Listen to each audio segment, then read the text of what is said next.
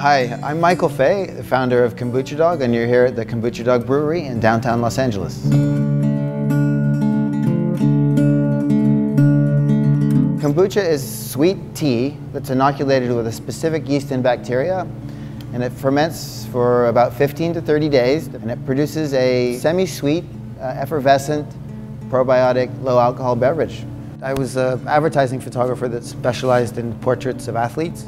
So I shot for Nike Golf, shot for Adidas, Callaway. Everyone kept asking me to photograph their pets because I had these two giant pictures of my own dogs on my wall in the studio. So one day I had all my friends' pets come in and I photographed them and I made prints and I hung them all around my studio. At the same time, I'm becoming obsessed with kombucha. And my fridge is filled with bottles and I just one day put a picture of a dog on the beer bottle. I liked the way it looked, it's beautiful. And about two weeks later, came to think, ah, it should be dogs, rescue dogs on the bottle.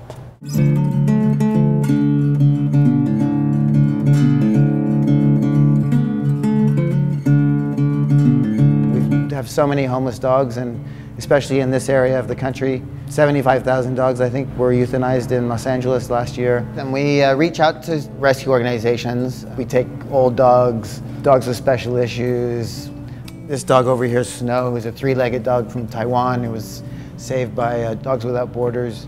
The fosters bring the dogs to us, we photograph them. Today we had uh, the first dog, her name was Dazzle. She came in, do you call that a wheelchair or a rolling set of rear wheels?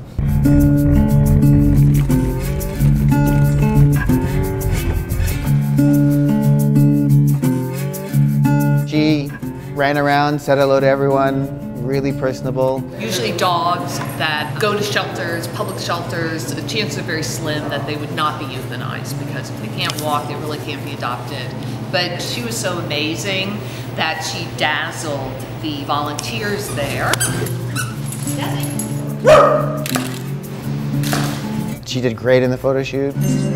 Dogs that are come from a shelter seem to have an awareness of them being saved. I don't know what it is, but it seems like they're even better dogs than, than you can get elsewhere. Then we had an amazing two-year-old German Shepherd. Her name was Lucy, really patient. Probably one of the best models we've ever had. She just sat there, she stood, she did pretty much whatever we wanted. We also had Spartacus today. He looked like a boxer, American bulldog. Beautiful dog, lots of energy, but really sweet, slobbered on everyone, and it was perfect.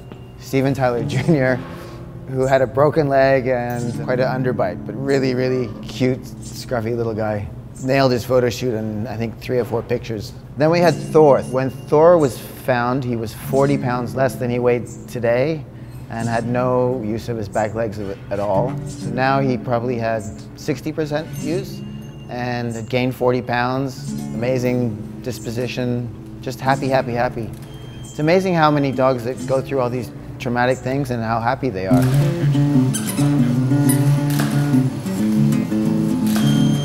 We feature three uh, different dogs per flavor per print run of the labels. And then hopefully within two to three weeks, dogs will be on the shelves. And when you go into the store, you'll see 12 or 15 different dogs. And hopefully you'll be curious and fall in love with one of them and go to our website. Uh, and in the adopted dog section, uh, you should be able to find all the current dogs, and I contacted the person that's fostering them. Of the dogs that we've photographed, over 90% of them have been adopted. It's a pretty high success rate.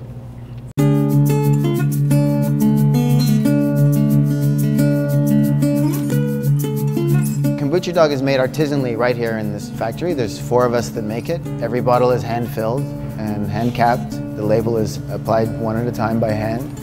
It's really a, a labor of love here.